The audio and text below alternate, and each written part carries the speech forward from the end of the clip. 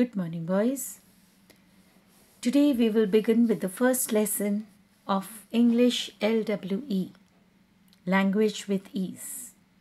And the title of the lesson is Countable and Uncountable Nouns. So we'll begin with the revision of parts of speech. Now, since we have revised the parts of speech, here is a small poem on parts of speech. I hope you will enjoy.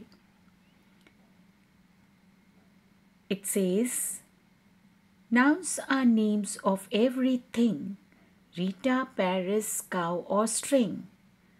Adjectives describe the noun tall, hot, three, cotton, and brown.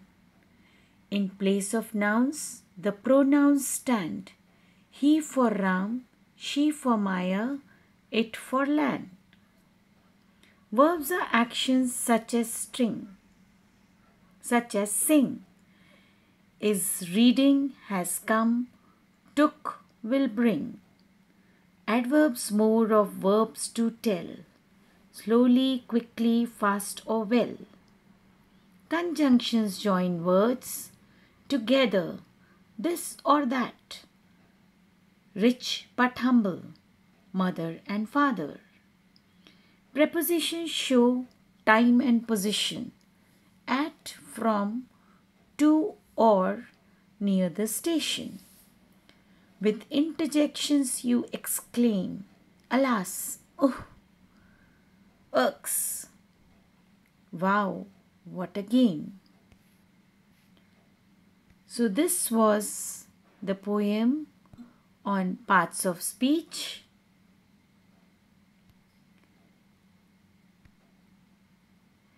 Now, as you all know, there are eight parts of speech.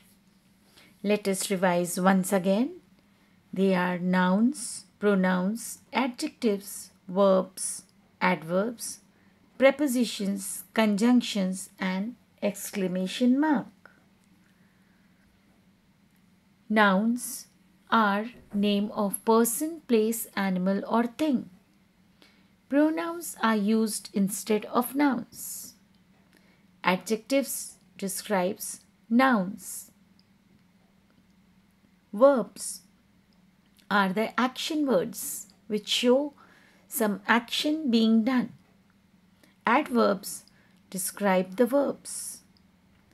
Prepositions show us the position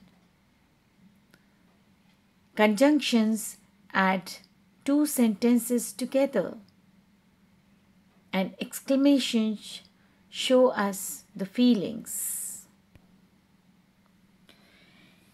Now, boys, this is something new which you will be learning in fourth standard. It may be a revision of third standard. This is known as sentence analysis. Now, the first part of sentence analysis is to punctuate the sentence which is given. So let's see here. Hundreds of chirping birds woke up the boy who had been sleeping. Now, this is the sentence which is given without any punctuation. So, let's punctuate it.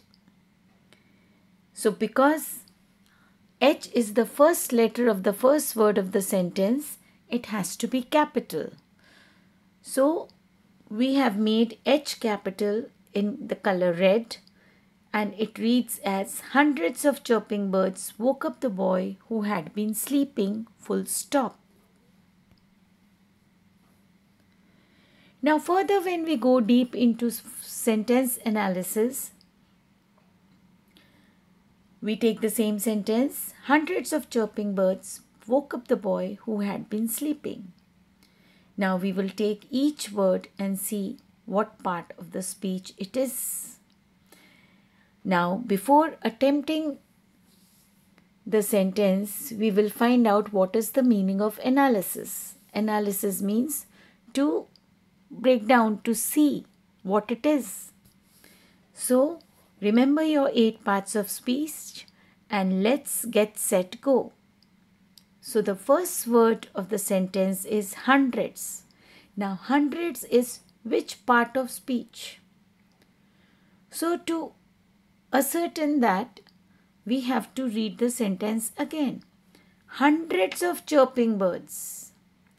So, hundreds of what kind of birds? Chirping birds. Now, birds is a noun here.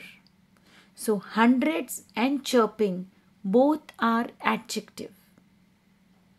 Now, what which part of speech is of? Of shows us it is a preposition.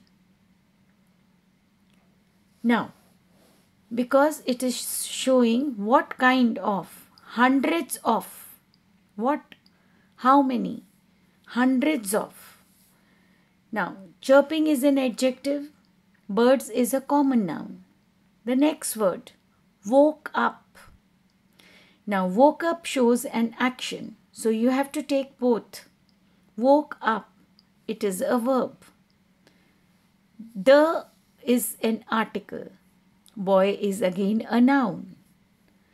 Who is a pronoun? Because it's, it tells us about the boy. Had been sleeping. Again, it is a verb. So, in this way, we have analyzed each word of the sentence. Thank you. Have a good day.